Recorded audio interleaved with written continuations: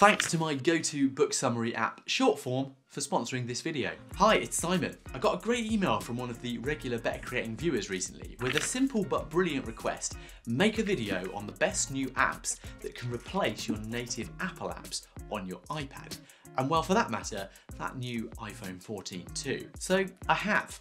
Let's find some gems. We'll cover great apps for you to explore from note-taking and Apple Pencil joy, web browsing and consuming media, email functions, planning and productivity, as well as some quick-fire creative apps that really make the most of that overtly powerful chip that's probably now inside your device. Now the aim here is not to do a detailed review of every single app because we would be here a long time, but rather to give you my top recommendations for some apps that I think make great native iOS app replacements for you to try yourself. I've listed all of them mentioned below. Let's go. Nice rhyme. Simon. Okay, now first up, if you own an iPad, it's pretty likely you're going to be taking notes on it, whether that's with your keys or first off with the Apple Pencil. Now that might be for your weekly grocery list or a full-on project plan or study note session. So let's first of all talk handwriting and note taking. Apple Notes is the native one. I'm gonna set this thing where we get rid of the Apple one and replace it, but on this category, it's worth saying that I actually think Apple Notes is one of the best native offerings for the iPad, and it's hard to say no to the smooth integration and ease of use it offers across your Apple ecosystem, particularly that home screen tap with the Apple Pencil to start a new note. Pretty cool. But for even greater functionality with the Apple Pencil, the first stop has to be GoodNotes 5. It's been and remains my Apple Pencil note-taking app of choice with a great range of designs, a range of organisational and folder features, and accessible drawing and editing tools. This is brilliant for anything from journaling to project planning and even annotating documents. I use it to storyboard the theatre productions that I direct. If you want to go further into the world of art and sketching, Procreate is an absolutely brilliant app. And to be honest, everyone should download it to realize the power of the iPad. It's basically a complete art studio. You can even use it as your journal if you want to. And it's used by professional artists and everyday users alike. Now, if you want to get advanced with a more vector-based graphic sketching and creation system, try Graphic. It's a powerful and affordable power app to make great designs come to life in iOS. Pretty cool. If you want to get a bit freer and you want to really see the power of swipeable and movable pages, Muse is a spatial canvas for research notes, reading, sketching, and so on. What is cool is it doesn't constrain how you work or how you organise your work. This is one you should go to the website for to really learn the functionality and unlock the potential in it. Now when it comes to word processing, notes and typing, Apple's offerings are Pages or Notes. Now for more casual and personal writing, why not try Drafts? Drafts? Drafts? My mum's from Leeds. It's a great iPad focused minimal workspace for just focusing on the task of writing. The widget system as well really adds value and I love it for, well, just drafting videos and simple bits of writing. So if you are someone who writes regularly, this is worth a download. In another direction, I'm becoming a big fan of using Google Drive and Google Docs on the iPad. Don't knock it, it's a great way to manage important documents wherever you are. And if you have consistent internet access, I still think this is a great free solution for managing the classics of word processing and document storage. And it means that you don't clog up your iPad with the data. If you really want to push your word processing further though, this one's right out of left field. It's an amazing option for a writing app called Jarvis, the AI writing tool. And okay, this isn't technically an iPad app yet, it's web-based, but Jarvis is just worth a check. You can essentially brief Jarvis to write copy on a subject for your prompts and directions, and once you give good references, it's surprising how useful and time-saving it can be to help develop quite cool copy. If posting regular content, this could be a great way to shortcut some of the simpler tasks and then clean it up yourself afterwards. Check it out and let me know in the comments below if it's worth it or not. Okay, so that's writing, but I think the iPad is the perfect reading and research tool. So let's talk reading, listening, and generally consuming media. For web browsing, the native browser on the iPad and iPhone is of course Safari. And it's fine. Of course, we could jump straight to Google Chrome. Don't get angry people if you're against Google Chrome, but it's okay. It's okay. I'm to suggest a brilliant iPadOS and iOS focused browser called Command Browser.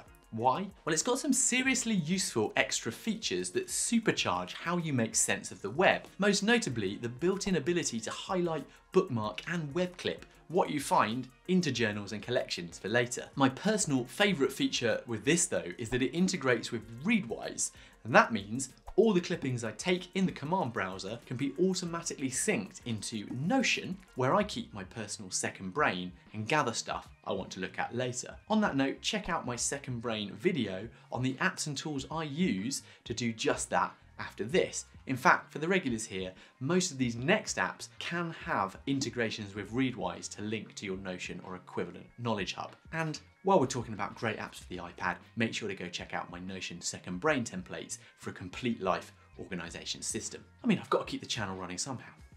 Time for some downtime, maybe catch up on the news. Ah, but hang on, we're replacing native apps news included. I recommend checking out Flipboard. It's a great looking free app for gathering and browsing news and trending topics into Flipboard presentations. What's particularly cool is that you can flip by topic and category to view the stuff you want to. And the widget functions take this pleasingly further where you can create views by topic. Rather than it just being a general news app, you can properly customize Flipboard to your personal interests. The iPad is made for online reading and a read later app is an essential part of any productivity system in my opinion. But for this, you have to try Instapaper. Instapaper is a beautiful and simple iPad focused reader that you can personalize to a visual format you like best whilst it removes all the ads and annoying stuff at the same time from Document. Fantastic. Oh, and this is another Readwise friendly app for integrating into your wider system if you're one of those second brain power users. Now, whilst Apple Books is good, if you're a serious reader, it's a no-brainer to add the Kindle app to your collection so you can sync your books and highlights across your Kindle and wider system. And if you're someone who enjoys noting down that perfect inspirational quote or life hack from your favorite podcast, ditch the Apple Podcast app and grab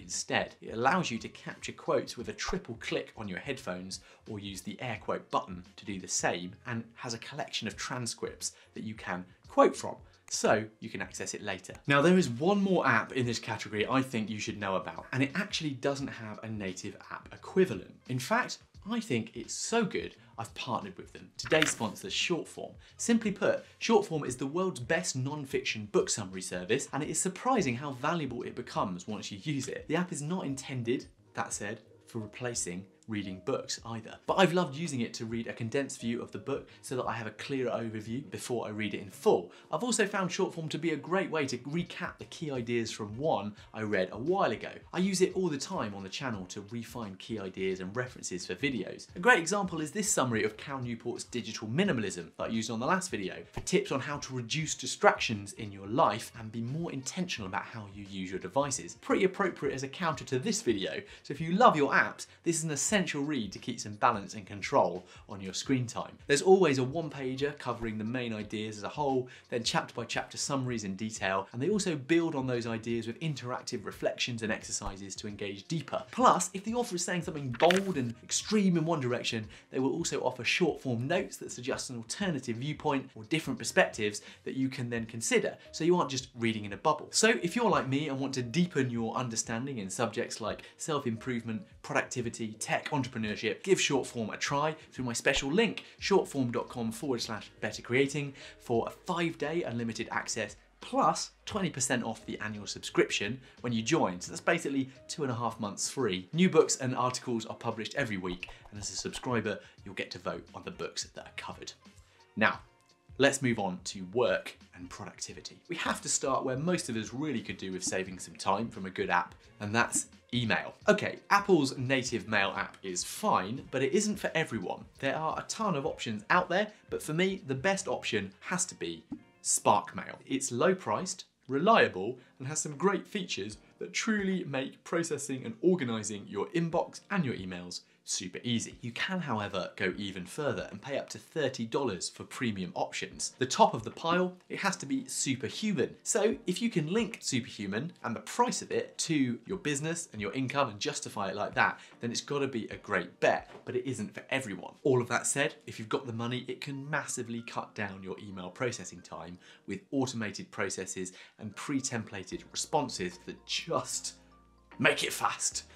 As a quick productivity tip though, try Tiago Forte's approach of the one touch to inbox zero. The idea being that you set up a system that means that every email only touches your inbox once. So if it requires a calendar event, it goes into the calendar and is archived. If it requires an action, it goes into your task manager and is archived. If the email has info you need to reference in it, it goes into your note-taking app. And if it's an article you want to read, it goes into that read later app, Instapaper. Remember? Check out Tiago Forte's blog for more. When it comes to file management, that would be the Files app. Well, even though I'm an Apple fanboy, I believe the place to go here is Google Drive. It's accessible across my browsers. I also know everything is there and won't be lost if I lose my Mac or iPad. It's not a bad idea to use a cloud service like this and let it be your main file manager. If you are predominantly online as a user, it's pretty much always connected to the internet. Okay, it's the big one, tasks and to-do lists. And this is really replacing reminders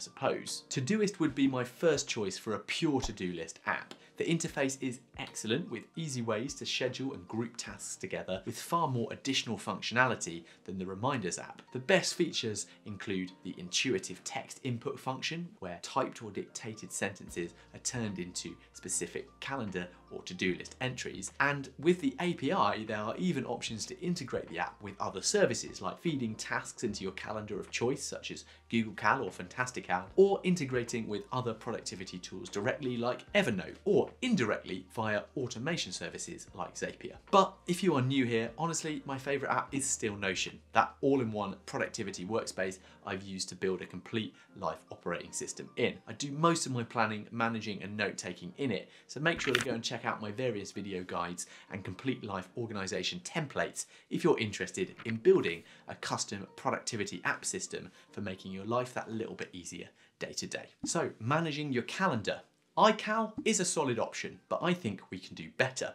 If you are in the Google ecosystem, like I am, the Google Cal app is a great replacement to iCal, and it's easily one that you can forget as an option for an iPad or iPhone app. It has the added bonus of a great looking and useful widget integration, and the mobile design is great. If you are a desktop user as well, it's a nice option for more advanced meeting management and sharing meetings and notes with others. That said, Fantastical 3 is the obvious premium option for me here. It really is well built and works well on Apple devices. It costs just under $40 a year, however you get some great features. It's particularly good to use with Todoist if you use that for your to-do lists, allowing you to see them all in one place and it integrates with various calendar platforms including Google Calendar. If you want to push things further into the world of AI, check out Motion, an app that actually schedules your day for you. One of their ads actually said to me once, to-do lists are dead, you no longer have to plan your day. Scary. Now this is more of a combined task manager and calendar. You set your working hours, sync your existing schedule,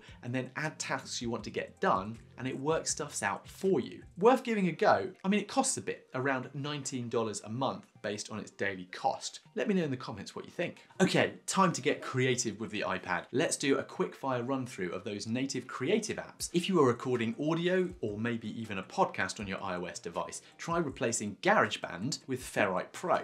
Okay, it's not the most beautiful app, but man, is it super powerful. You can properly record serious audio for your podcast or wherever else you are sonically developing. If you want to do more with your video capture, get hold of Filmic Pro and start making use of those sexy new cameras on the iPhone 14 in a different way. You can shoot 4K log footage in it. It basically means that you can add serious mirrorless camera functionality. It even has a remote so you can use one device to trigger the other. I used it for videos all the time. And if you're starting to edit video casually on your iPad with iMovie, you should give LumaFusion some serious consideration. It's not Final Cut Pro, but it's close and even integrates with it. For a one-off fee, it's been well worth, given that I edited the first year of this channel on it. Now, if you're editing photos on your Photos app, you definitely should invest in Lightroom or maybe Affinity Photo or Pixelmator Pro. They are seriously powerful editing suites that compete with some of the best Mac-based products out there to make your photos really pop. And with Pixelmator Pro providing further natural drawing and touch-up tools for the Apple Pencil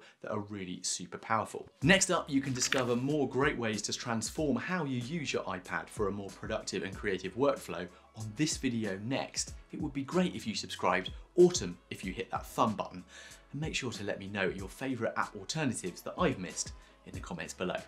See you on the next one. Bye.